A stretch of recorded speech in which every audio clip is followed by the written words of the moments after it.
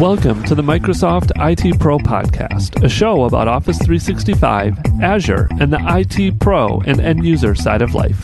Each week, we'll discuss a different topic or recent news related to Office 365 and Azure and how it relates to you as an IT Pro.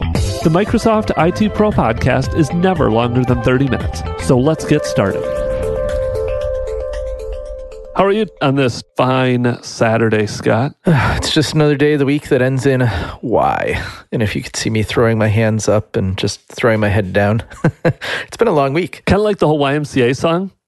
Are you going to start spelling out letters on the video? yeah, I'm very glad we don't do video for this one.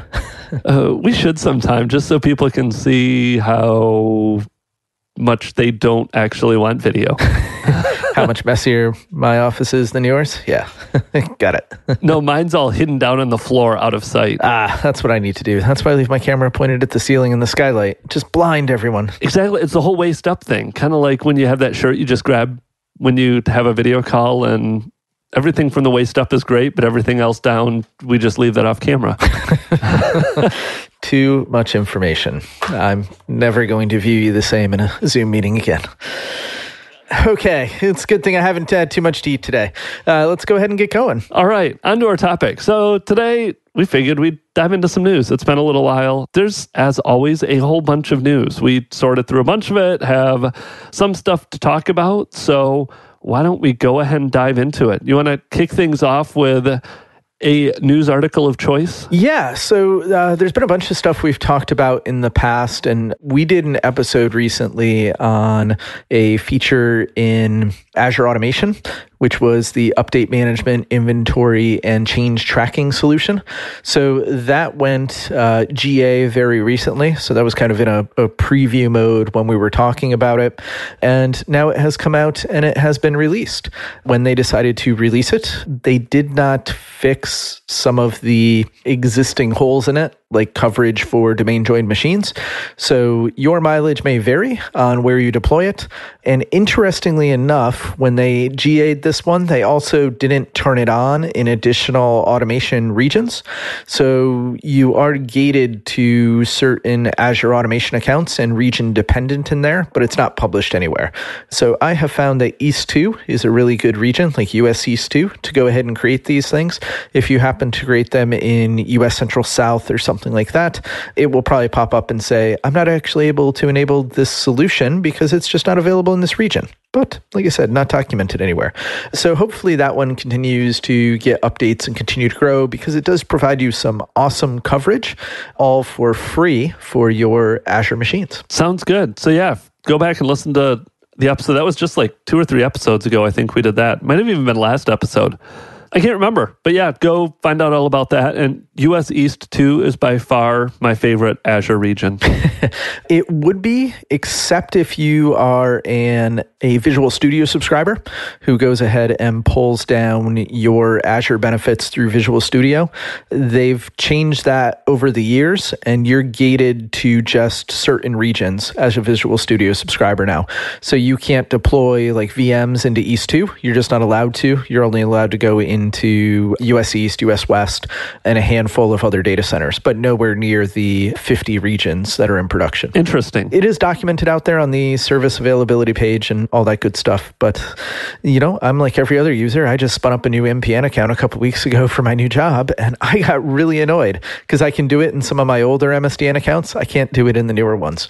Yeah, not fun. All right. So, other news. Speaking of things that went GA, uh, Power App Studio for the web is now generally available too for production use. So, yeah, if you do Power Apps development, if you're working on creating Power Apps, they have that web version of Power App Studio that I didn't actually realize that that has been in preview for all this time, but that is now officially GA now. So you can use that. And I'm going to hit on one other quick one since this one just went GA2 and there's not a lot around it, but we've also talked about guest access for Office 365, adding guests to Office 365 groups.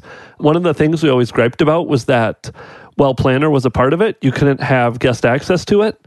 So, in addition to the Power App Studio GA, now you can also add guests to or Planner now supports guest user access. So again, not a lot of links around this, not a lot of information because guest access is still guest access. You enable it the same way, you invite users the same way. Planner just now also supports the guest access. Yeah, no, that's a very good thing and it's starting to kind of have more coverage uh, across the service right? So when you go in and look at that table now on the support side and it says hey here's what guests can and can't do within office 365 groups yep one more thing that we can knock off the list.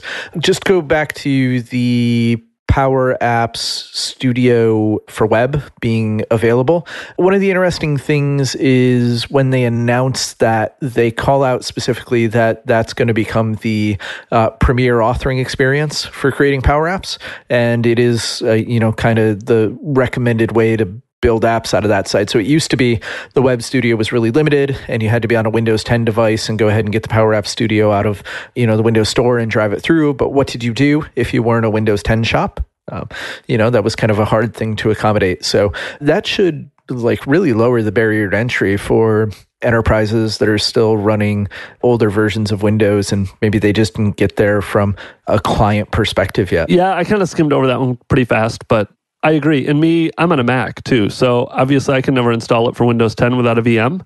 So I tended to always use the web version, anyways. It is nice to see this kind of being that premier editing environment now. So you can do everything on a Mac that you could on Windows 10 when it comes to uh, Power App Studio. Yeah, the other thing that'll come along with that too is they will deprecate the existing Power Apps for Windows application. So that's going to go away on June 1st, 2018. And then just over to the web. So use the web one, it's there. Yeah, that's pretty quick. So, what, like two months? That's only two months away. Tomorrow's April 1st. Crazy. Yeah, well, you know, they gave you a little bit of notice, so not the end of the world. And they gave you an equivalent, if not better, authoring experience in theory. Definitely.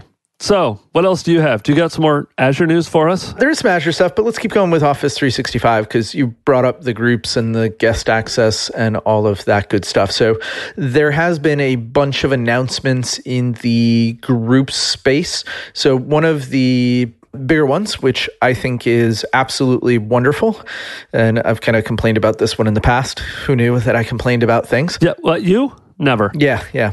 So Office 365 groups that are created from Microsoft Teams are going to be hidden from your GAL by default because every group gets a mailbox and that mailbox gets an email address. Traditionally, what's happened is those have been pushed into your GAL and then you've had to go and hide them later. So that's applied to every group groups that are created in Teams, groups that were created through Outlook, groups that were created through a SharePoint site that was groupified, or Yammer groups, right? Planner, any, anything that supported that group workload. So what they're starting to do is dial that back a little bit and recognize that when I create a group through Outlook or Outlook on the web, I'm kind of intending to maybe have a mailbox. And I probably intend for that to show up in other places, like the GAL and across Outlook on the desktop, whatever that happens to be. And then for something like a team, I want that might want that to be a more private or enclosed workload. So I still want to have the mailbox. I still want to be able to have the team collaboration and the chat and all the other things. And it needs to be there for the way Teams is architected. But let's go ahead and just hide it from the GAL right out of the gate which will be really awesome. I like this one too because, like you said, as all these different services spin up groups, I feel like it's a little bit of group overload.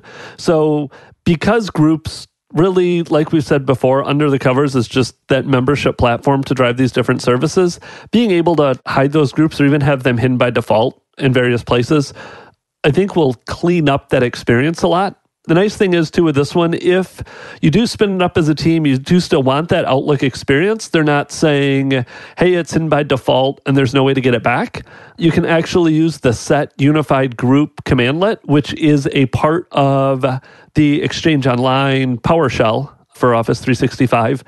And there is a hide from Exchange clients setting flag on that unified group. So you can kind of enable, disable that if you would want that group to start showing up in Outlook. Correct. So that's not in the documentation yet. It's only in the announcement that they had that came out.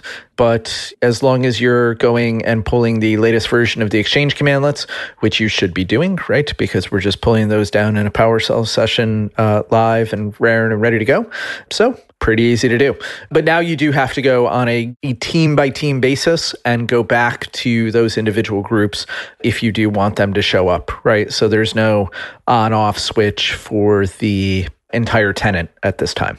So adapt to the new behavior. And you might want to consider going back to your existing teams that are already out there and published in the GAL and maybe going through and doing a quick enumeration or something like that and just scripting that out to make sure that the behavior is consistent for everybody moving forward. Definitely. And if you want to get really creative and have a default, you just tie in like a group creation trigger with Azure Automate or with a flow with Azure Automation and run PowerShell. Anyways, you can do all kinds of fun things. All kinds of fun things. And then there's one other groups thing that kind of comes along with this as well.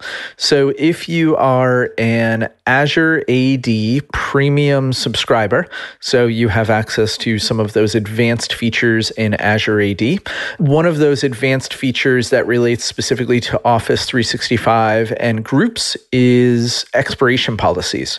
So the ability to set a global policy within your Office 365 tenancy and have that spun back out in the form of expiration for your groups, right? So I'm going to set a lifetime for groups based on certain characteristics and then potentially auto expire those depending on you know what's going on and where things are sitting. So nice to have. It is gated to azure ad premium and it has a couple of mm, I'm not going to complain and I'm not going to call them issues. It has some bugs or some things in it today. So if you do configure this, make sure that all of your groups have valid owners. So if they do not have a valid owner for some reason, you're going to want to go ahead and make sure that that does get in place. And the reason we want to do that is because the expiration emails go out to all of the owners. If there's nobody to respond to the expiration email, the group will be deleted. And that may not be your desired behavior, right? To have things just disappear because they did not have a group owner associated with them, or that group owner was no longer a valid user. The other thing that you might want to do is when you enable this feature, if you choose to and you're licensed for it, which I would encourage anybody to do because it's always nice to have the platform govern itself when we've configured it the right way, is make sure that you are checking your quarantines and kind of your spam and filtering mechanisms.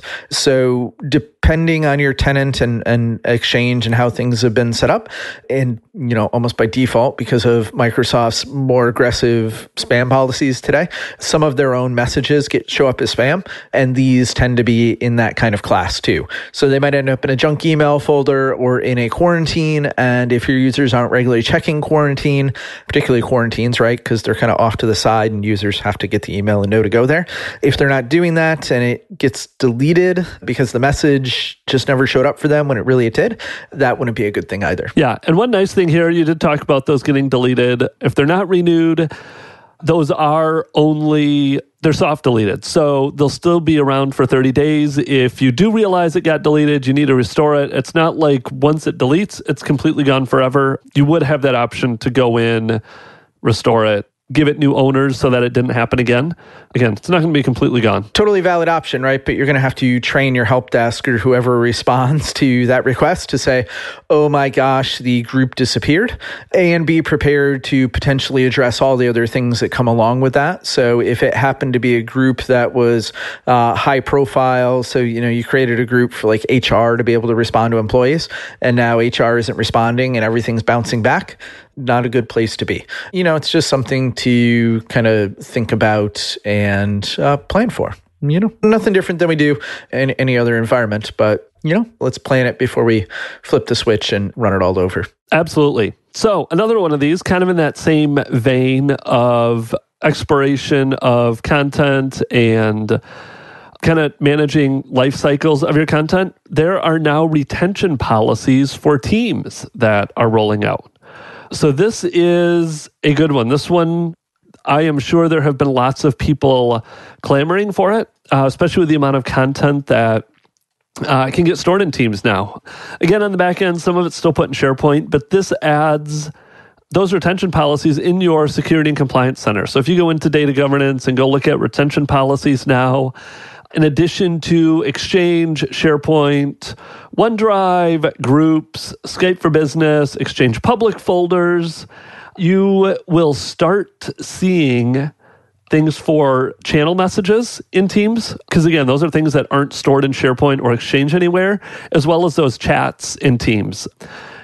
This is one of those that is currently rolling out. I actually just t- checked my tenant as we were getting ready for this recording, and I do not have it yet in my tenant but it is in progress. It's going out. This is going to help you as admins to help with Sarbanes Oxley, different compliance requirements, and just making sure that content, again, doesn't get deleted. You retain it. I'm looking through the article here they have all these different retention policies, different settings in there around proactively deciding when to retain content, when to delete it, setting up both the retention or the deletion of it, managing it with PowerShell. So this, it doesn't say where the PowerShell commandlets are going to be. I don't know if those are going to be part of that Teams module or if they're going to be part of Exchange Online, because I think a lot of the security and compliance stuff is in there. Or does that have its own module now? It has a special module when you connect to the Exchange endpoint. Exchange. So there's a bunch of things going on here, right? You're getting some coverage for some Teams things, but now you need to understand the architecture of Teams and where your workloads sit. So this will be out by mid April for hopefully the majority of tenancies. So if you don't see it, you should be seeing it relatively soon over the course of the next couple weeks by the time you hear this. And yeah, just keep in mind that not everything is covered. So where you might be doing channel messages, which are going to be associated with the Exchange mailbox that is associated with your Office 365 group, that is associated with your Microsoft team, right? And driving everything through kind of the underlying Office 365 fabric and chat service and everything there. Other things related to chat live in other places, particularly private messages. If you've started to transition users more and more over to the Teams tenant or Teams application and, and that way of doing business. Their personal chats are stored in their OneDrive. So you do need to consider retention for OneDrives as well if you want to have full coverage for messages, not just channel messages in the team. Yep. And they do in the link that we'll have in the show notes to this, they have a nice graphic too that kind of shows where everything goes as it goes in teams, where it go, whether it goes to Exchange, whether it goes to SharePoint, how some of the Office 365 information protection tools apply to those different ones. And they're just continuing to move forward too with Teams. We kind of saw it starting at Ignite where they're just they're going full bore ahead with Teams. So they're also working on some of the e-discovery for calls and meetings in Teams that they just say coming soon. Another big ticket item that they say is on the roadmap is the data loss prevention for conversation and files. So they really are investing a lot in teams and making sure it's compliant and all of those same data protection, data governance tools work just as well in Teams as they do on some of those other Office 365 services. So let's do one more SharePoint one, too, while we're in here and talking about Office 365 and, and all this stuff that ties together. So Hub Sites has gone to wider availability and is rolled out to, if not 100%, the majority of tenants right now. So, this was a feature that was uh, announced back at Ignite, which allows you to have a central site which can drive things like navigation, look and feel with theming, being able to control scope searches, some of that kind of stuff. So basically, I have a master site, and then I have other site collections that are associated with that hub. What is it up to you? 50 subsites that can go ahead and get all that going. So, this feature, as it comes out, the way that you kind of go through and spin everything up, there's some new commandlets for being able to register your hub sites. So, there's just a register SPO hub site commandlet. I believe I saw something from the uh, PnP folks that they eventually plan to incorporate this functionality over there as well and make it a lot richer on that side because, you know, we've got some other options around theming and site designs and some other stuff where they've done some additional bootstrapping over there. But yeah, pretty much uh, now you can build your hub sites. You can go ahead and begin to associate uh, child sites to those hubs. Just keep in mind, you can only have one child site associated to one hub at a time. So there's not a one to many upstream relationship there. Microsoft put out a bunch of uh, webinars and some other things to go ahead and talk about this. Uh, they just held a couple of them this week, and they do have recordings available for those. Uh, and then, of course, they will be doing some additional guidance on things at the SharePoint conference coming up in May. This one is interesting. I have this in my tenant. It looks like targeted release should all have it. They were saying mid March for that, and then complete rollout by mid May. So another month and a half if you are not on first release or targeted release to get it. But it is one interesting thing I guess based on the announcement, I just kind of envisioned you'd actually create a hub site, but all you do is you specify a current site collection to be a hub site. So I actually go in and either create a group site collection by creating a new group or that's the way I did it. And then you actually go in and say, okay, now this site collection that I've already created is going to be my new hub site. And then you can go in and associate all your other created site collections with that hub site. So even your hub site, you can still have all the document libraries. It's just a normal site collection that's specified as the hub site. And then once that's all set up, the navigation up at the top changes too, where you can go in and say edit and add the links. And then it shows up on all the child sites of that hub site. It worked really well. I actually even used Waldek's, Office 365 CLI, that we talked about with him a couple weeks back to create all my hub sites, register it. So he has all of those built in already to the CLI as well for managing them. So it was slick experience, really easy to set up. Awesome. Yeah, I think one of the kind of only limitations that exists out there today is you can't register your root site collection as the hub, correct? That's correct. And I don't know, I haven't actually tried to do it with a classic site. Like if you have an old one that you've spun up from the SharePoint Admin Center or one that you've had for a while, if you can actually take a classic SharePoint site, make that a hub site. Again, because with the navigation and the UI, it's all a little goofy. I'm going to assume it probably has to be a modern site, but don't quote me on that. That's probably a valid assumption. And hopefully, there's not too many new classic sites kicking around, or at least most people are kicking the tires on the newer site constructs. Uh, so let's go ahead and close out with some Azure stuff. There was a bunch of announcements at the beginning and tail end of this week with some really cool functionality, some that's been in preview and some that customers had never seen before, but now it's kind of just sitting out there ready to go. One of the best ones is probably virtual machine serial console access and having secure access to consoles on your VMs now.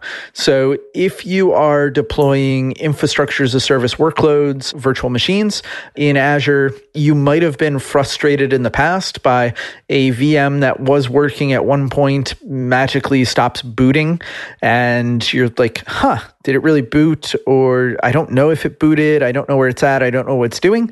They added some boot diagnostics and some additional signals into the diagnostic service, and they included things like a boot up screenshot optionally if you wanted that to happen and had everything configured.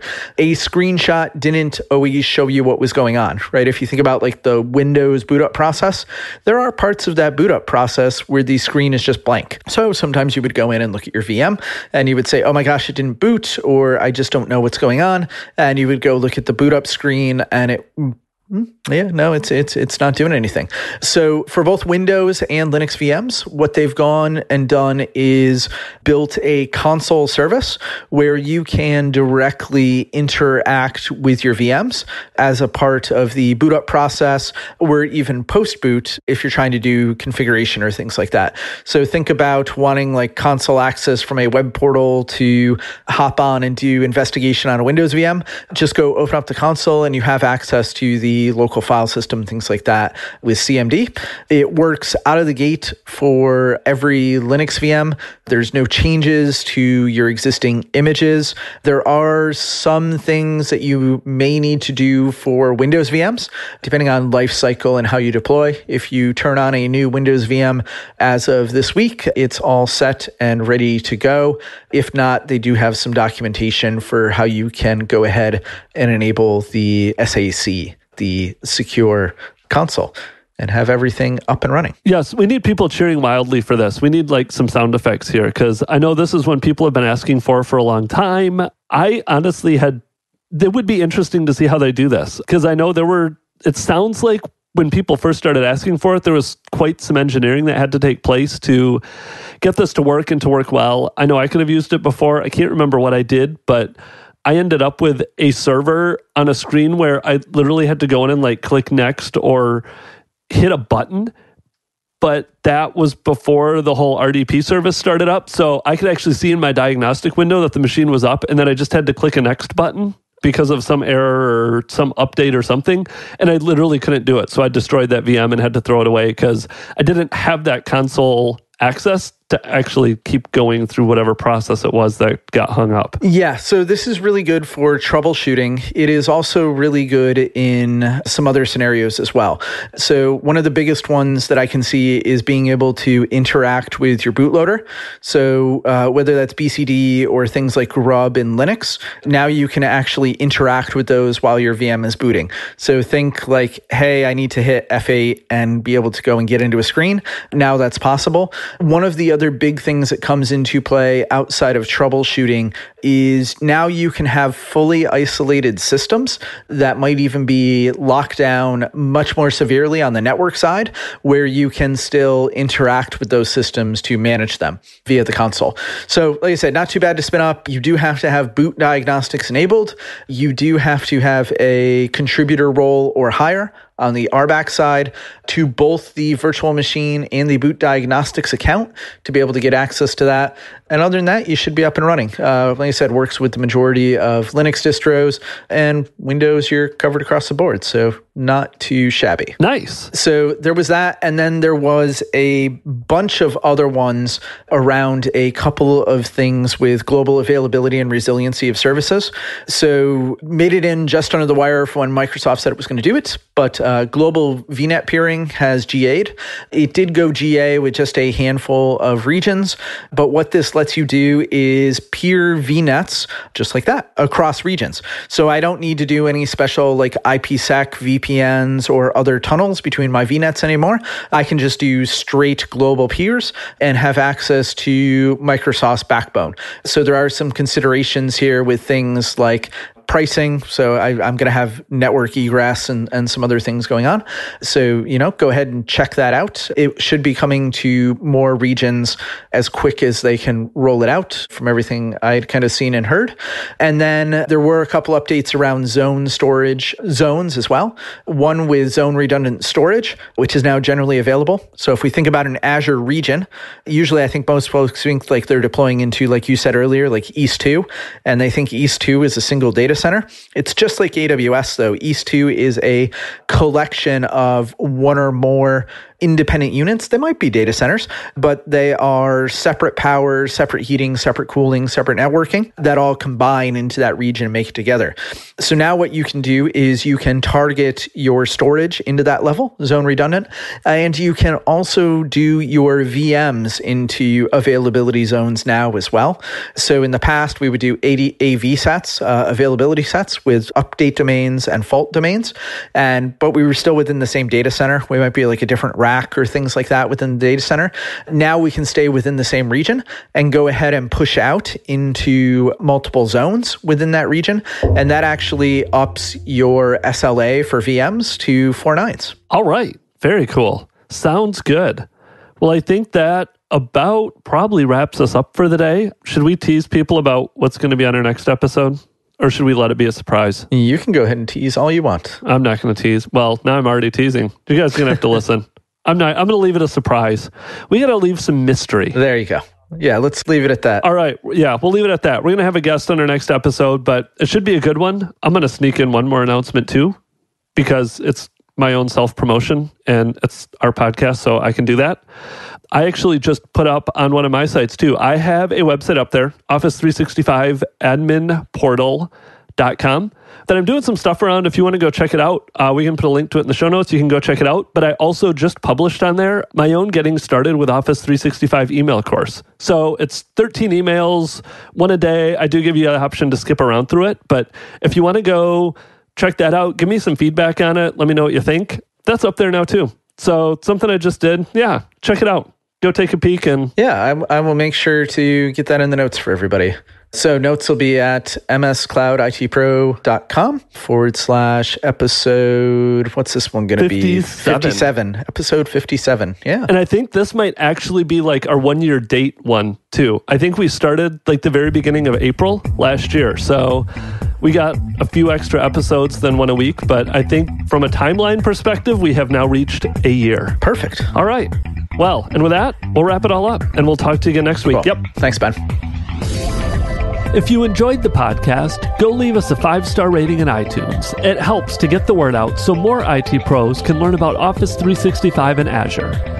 If you have any questions you want us to address on the show or feedback about the show, feel free to reach out via our website, Twitter, or Facebook. Thanks again for listening and have a great day.